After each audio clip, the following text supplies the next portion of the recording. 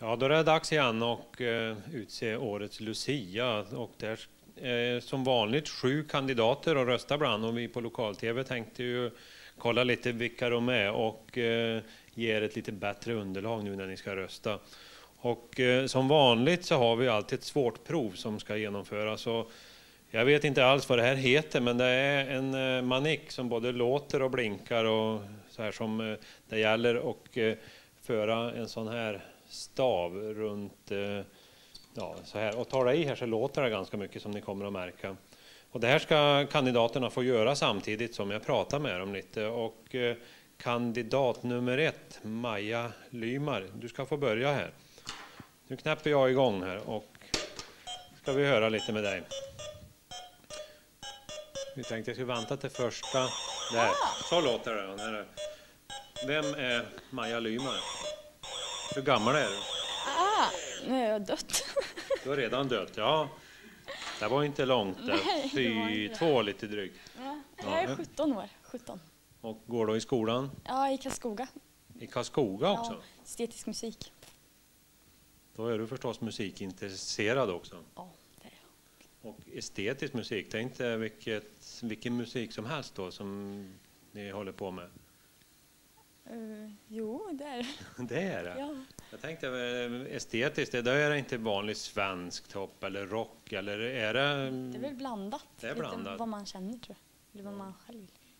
Och vilken musik är det du helst håller på med själv? Jag sjunger och spelar cello så det blir mest klassisk musik. Cello, det är inte så vanligt med rockmusik då. Nej, det finns väl men det är inte så vanligt. Hur länge har du spelat cello? Mm, sen jag var nio. Och det här med Lucia det kommer att bli roligt för där får du ju använda dina sångkunskaper i alla fall. Mm, det kommer bli kul att få sjunga. Det är jättekul att sjunga tycker jag. Eh, säg någon person som du beundrar. Mm, det skulle vara min sånglärare kanske. Jaha. För, för sången eller för att han är så duktig som lärare? Eller? Både och. Eh, varför ska man rösta på dig? Eh, Ja, eh, nej men eh, det behöver man inte göra, tycker jag inte. Det behöver man nej, det inte. tycker jag inte. Du, du tycker Jag det är roligt för att det är roligt. Mm. och förstärker sången. Men tänk om du blir Lucia, då får du ju gå liksom i täten. Det kan väl vara rätt så härligt ändå. Mm, det är säkert kul. Smickrande i alla fall. Eh, jag vet inte om det här räcker till att, bli Lucia, att komma till två. Vi får se vad de andra Nej, klarar. Lite illa tror jag. Mm. Tack ska du ha. Ja, tack. Och eh, då var det kandidat nummer två, Therese Nilsson. Jag ser på din adress att du bor inte i stan. Nej, jag bor ute i Ölme. Ja, då är du säkert duktig på det här, för det här tror jag man håller på väldigt mycket ute i Ölme. Nu knäpper jag på här. Ska vi se hur långt du kommer. Troligtvis inte speciellt långt. Vad gör du annars? Jag går tredje året som humanist på Brogården. Ja, där får man lära sig sånt här. Det ingår väl på en av de viktigaste ämnena på humanistiska linjen. Nej, det här är nog mer för de som går natur. Var det. Du kom inte riktigt så långt här. Nej, jag gjorde inte det.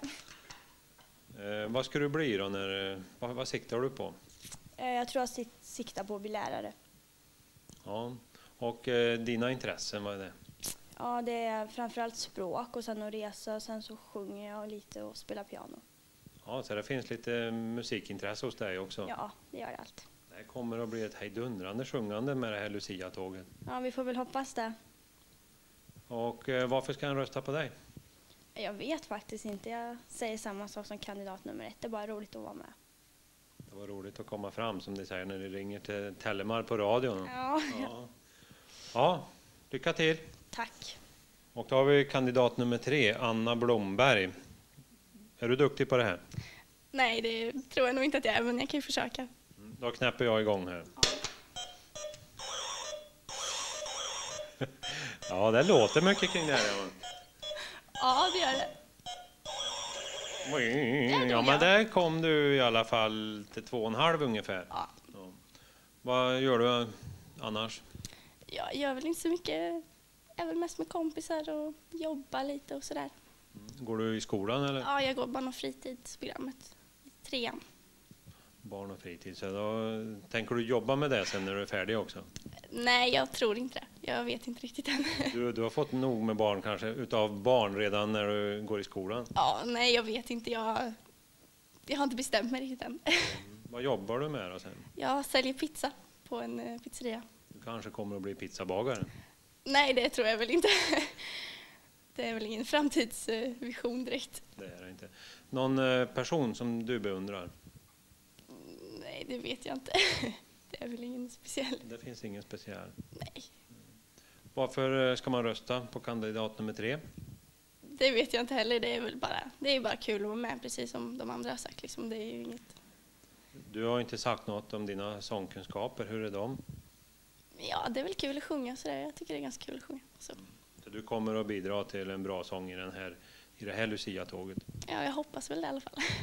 Tack ska du ha. Tack. Ja, och då har vi kandidat nummer fyra. Mm. Heter Sara Nilsson. Ja. Jag ser här också på adressen att det är Ölme. Mm. Här är med. Eh, halva Lucia-tåget nästan från Ölme. Eh, hur är dina kunskaper på det här? Du, det tror jag nog inte är så himla bra. Det tror du inte? Vad ska vi kolla? Oj. Oj, oj, oj. Det här kunde du. Där första. Ja.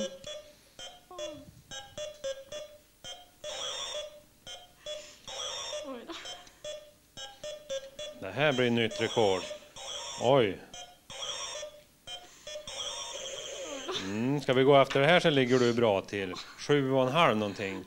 Ja. Du då, går du i skolan också? Ja, jag går första året estetisk musik i Karlstad.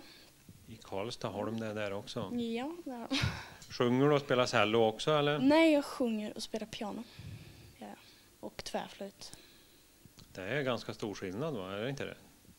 På tvärflöjt och piano, eller? Ja, det är skillnad. Ja det, det vet ju, men just Jo, på, men på tekniken att spela och så. Så är det. Men att det är kul. Vad, vad tänker du göra sen när du är färdig då? Jag vet inte, jag vill fortsätta med musik för det. Tror jag. Är det då att uppträda eller tänker man mer som lärare eller så? Det vet jag inte, det beror väl på hur det går. Person som du beundrar?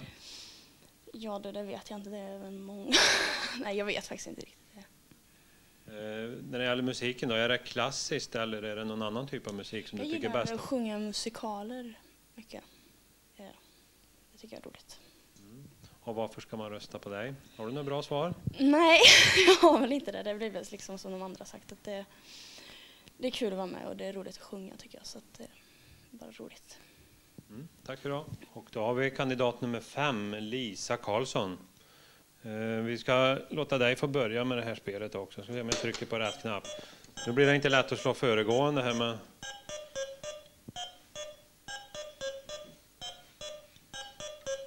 Ja, du var duktig på det här också. Har du tjuvtränat eller? Nej, det vet jag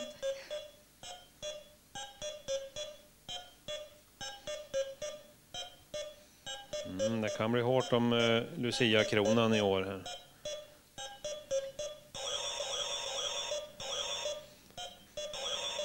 Kom du in i ett stimmer tror jag. Oj, oj, oj. Inte riktigt lika lång. Nej. Lisa, vad gör hon annars? Jag pluggar på barn och fritid andra året. Du är på andra året där. Eh, Hur ser du? Kommer du att fortsätta att jobba med barn sen tror du? Ja, det har jag väl tänkt. Fritids kanske. Elevassistent. Ehm, Sången, är det något som du sysslar med på fritiden? Nej, det är det väl inte så mycket. Är det något annat då som du tycker är roligt på fritid? Idrotta. Fast jag håller inte på med något speciellt. Men Ja, men man måste väl göra något om man ska idrotta och tycker att det är kul. nej, men jag... Ja, lite allt möjligt. Som till exempel? Innebandy, badminton. Ja. Ehm, är det något som du tror att du kommer att göra mer sen? Innebandy har jag spelat fast jag slutade nyss. Det har du? Ja. Ehm, någon person du beundrar? Nej, inget speciellt. Och eh, varför ska man rösta på kandidat nummer fem? Ja, det vet jag inte riktigt. Jag tycker bara det är en kul grej att vara med. Mm. Tack ska du ha. Mm, Ja, då har vi nummer sex, Cecilia Boman. Du ska få också börja direkt med det här eh, Irritate Game står det att det heter. Det ska vara... Ja.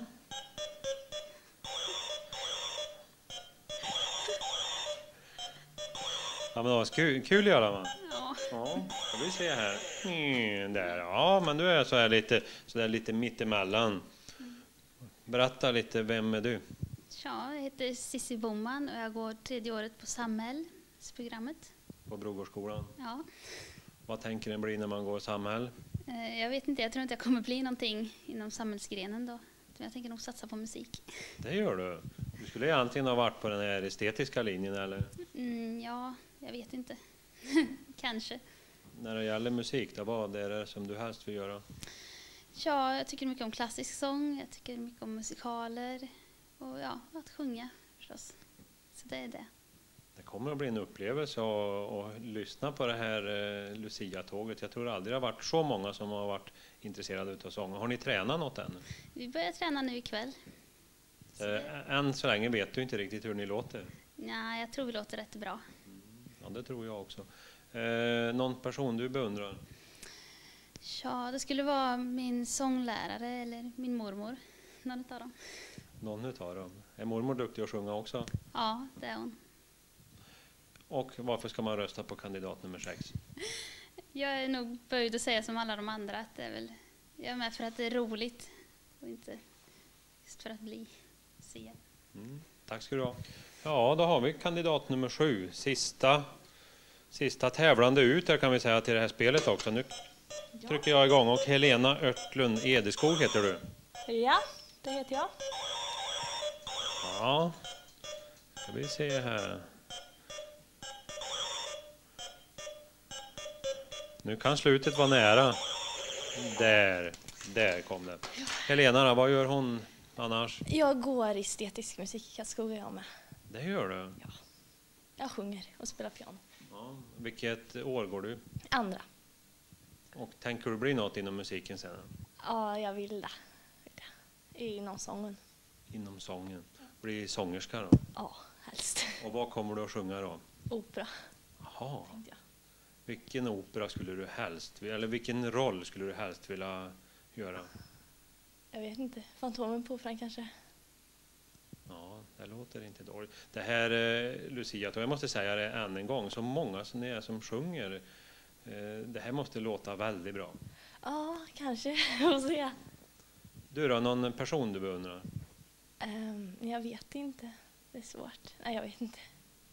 Eh, nu har du chansen, nu är du sist här. Nu kan du säga för att du är bäst och för att du är så här, om jag nu frågar varför ska man rösta på kandidat nummer sju? Ja, jag kommer inte säga det.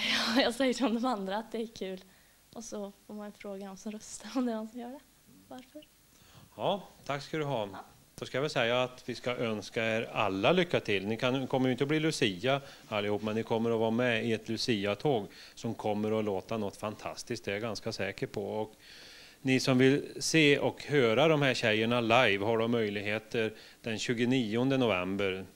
Eh, då är de och uppträder dels då på Vintergatan klockan ett och klockan halv tre och eh, på Lyran är man eh, halv två och klockan tre. Och sen ska ni inte missa kröningen heller, för nu är det så att kröningen är på rätt dag. Det brukar det ju inte alltid vara, men nu är det på Luciadagen den 13 i kyrkan och en lite annorlunda tid mot vad det brukar vara.